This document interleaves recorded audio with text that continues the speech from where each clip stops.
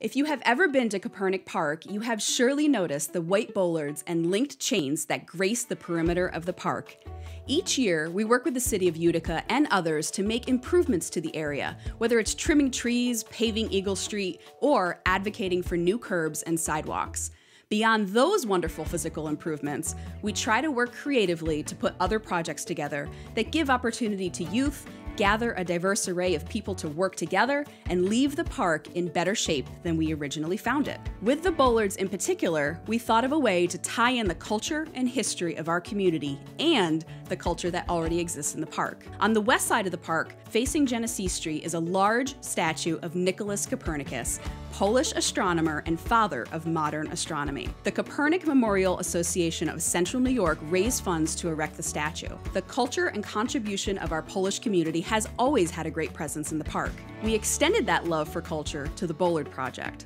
With the guidance and data from the center, local historians, and other sources, we identified 19 countries where the greatest number of people have come to Utica from, of course, including Poland. Our vision was to capture symbolism and language from each country to adorn the bollards, following a cool one world theme that keeps coming up in projects that celebrates how we come together from many places right here in Utica.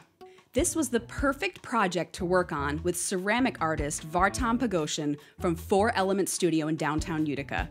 He is a self taught Armenian artist who loves bringing the community together through art whenever he can. He recruited two young ladies to work alongside him. Do Kapa Sopa and Epla worked side by side with Vartan, learning more about clay, design, glazing, project management, deadlines, collaboration, and more. Together, they created tiles with symbolism from each country, being extremely thoughtful on color choices and imagery. Tone translators at the center assisted in translating hello and welcome in different languages for each of the countries to adorn round tiles that will be on the top of each bollard, leaving behind a 24 7 message of welcome, acceptance, and friendship to anyone who passes by the park. Rounding out the team was Kathy Marsh.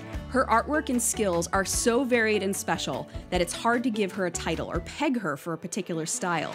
But we knew that she is a mosaic master, and the installation of the tiles was left in her great care. We encourage you to visit the park and spend some time interacting with this unique project. Try out some new languages and enjoy the beauty of the imagery and skill of the artist.